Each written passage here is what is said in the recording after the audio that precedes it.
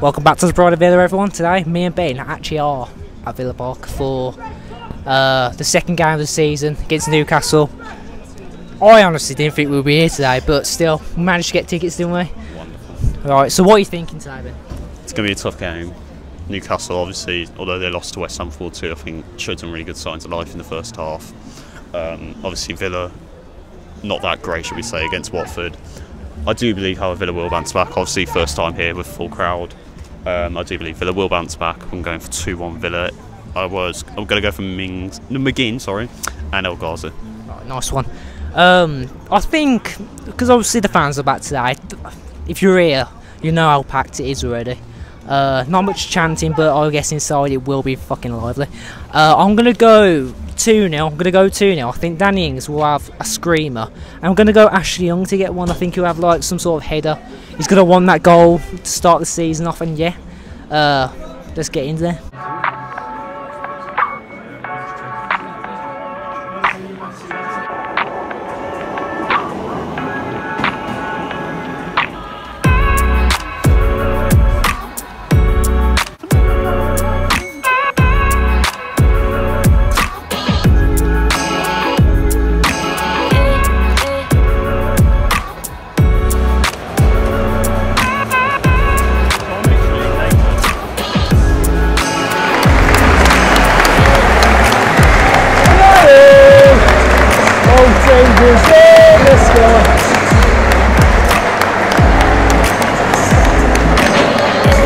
Right, we're going to the ground. Um, we're out 40 minutes early, to be honest. And I mean, I, I, I was just saying it doesn't feel quite sold out yet, but then again, we are about 40 minutes away Yeah. from it. Players have just come out, training away now. Oh, it's very exciting being up here in the upper hole, I must admit. Very exciting. yeah, it's like we're watching the train right now. Uh, you know, obviously we're here to watch us against Newcastle. It looks like Newcastle has a few injuries with their goalkeeper and Jonjo Shelvey. Um, but yeah, I think we're gonna have a good game. We're gonna be. I can already tell it's gonna be loud. So yeah.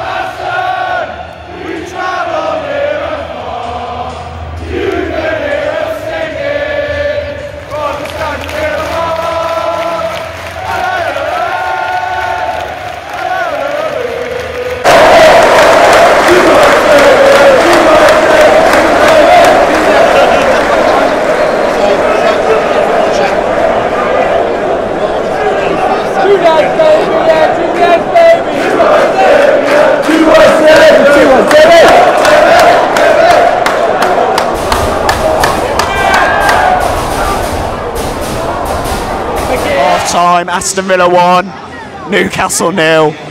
Um, just want to say what fucking atmosphere it's been right now. Absolutely class. I've lost. I'm. I'm actually losing my voice here, so I'm going to go quick with this. Um, first 20, well, first 10 actually. I thought Newcastle massively out the race. I thought uh, first, and then the 20 minutes after that, Newcastle all over us. Very scrappy. I think Villa then grew into it in the last 20, and then obviously right on half time, best time to get a goal probably. Danny Ings comes out with a wonder goal, as somebody predicted. I said that all the way for his Ashley Young to get out. Header, header, header. I think the referee's been absolutely I don't know who shambolic. I don't know who he is. I've never seen him before.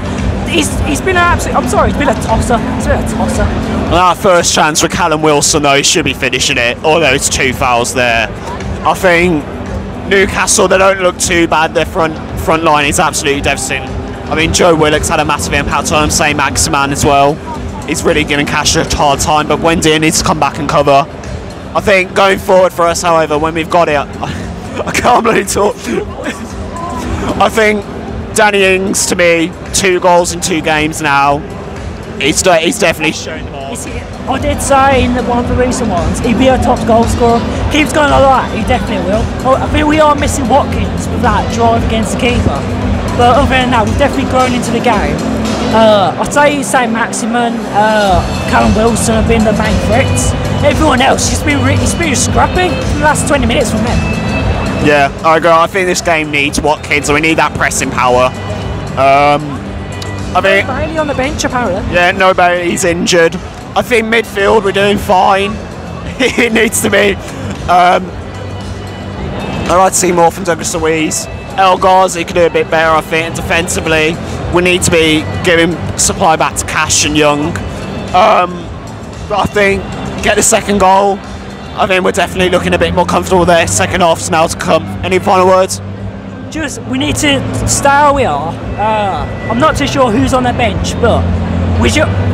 You can you can tell we're right here. You can tell we need that creativity. So you've already said as well about the signings. We need that one creative player. Check the core right. We have obviously War Pros is off, but we need that one. Big second half to come.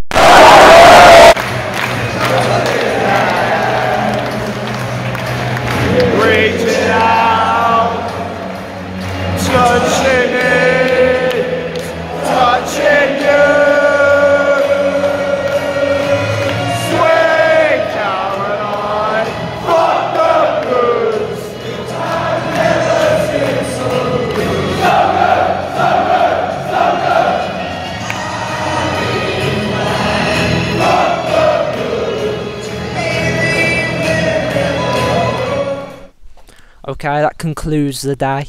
Uh, I know we didn't get much footage of like, obviously Danny Ings' goal, some of the stuff when I, that happened because there was actually quite a few things that happened, like VAR incidents, uh, scrappiness, and uh, you know Newcastle just, you know, they're just trying to uh, knock Danny Ings out for some reason. But yeah, to be honest with you, it was actually quite a good game. We we definitely started out on the back foot. I think Newcastle were definitely a better ga- a better team for the first twenty or so minutes, and then we definitely grew into the game. Um, sorry, my voice is gone as well. Like me and Bex, My voice is more gone than yours. yeah, because there's uh, I think there was around forty-one thousand as well. yeah. Um, but yeah, uh, who's your uh, who's your man of the match? I would go either McGinn or Mings. Um, I'll probably say McGinn. I think just going forward, he offered so much more in that number 10 role. Um, and he was just a much greater improvement, really driving the ball, really winning the ball as well. I thought Ings deserves a shout out as well, but really good performance. Uh, can't wait to go to Brentford next week. Yeah, it's just you know, it's been a good day, but it's just really nice to see Ben positive because also we know he's not always positive. But I'm gonna go with Jacob Ramsey as man of the match. I thought he's definitely had a big improvement from last season, and I hope. You know, he's to be honest, we've got Brentford next, and I think that's a perfect game for him to start.